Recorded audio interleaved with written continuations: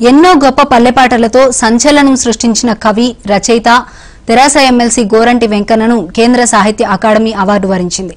ఆయన రాసిన వల్లంకి తాళం కవితా సంపుటికి గాను రెండు వేల ఇరవై ఇరవై ఒకటి ఏడాదికి సంబంధించి కేంద్ర సాహిత్య అకాడమీ ఈ పురస్కారం ప్రకటించింది. ఆయనతో పాటు తూగుళ్ళ గోపాల్ను కేంద్ర సాహిత్య అకాడమీ యువ పురస్కారం దేవరాజు మహారాజును బాల సాహిత్య అవార్డు వరించింది.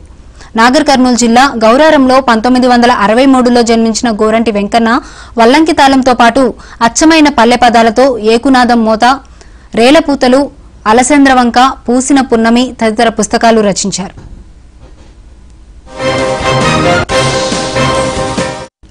రెండు వేల ఇరవై ఒకటికి గాను మొత్తం ఇరవై భాషలకు సంబంధించి ఈ అవార్డులను ప్రకటిస్తున్నట్లు సాహిత్య అకాడమీ పేర్కొంది. గుజరాత్ మణిపురి మైథిలి ఉర్దూ భాషలకు సంబంధించి అవార్డులను తర్వాత ప్రకటిస్తామని తెలిపింది.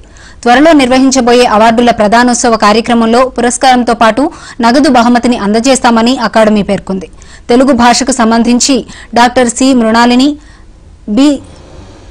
G. Sriramamurthy doctor Katyayani Vidmahe jury సభ్యులుగా వివరించారు.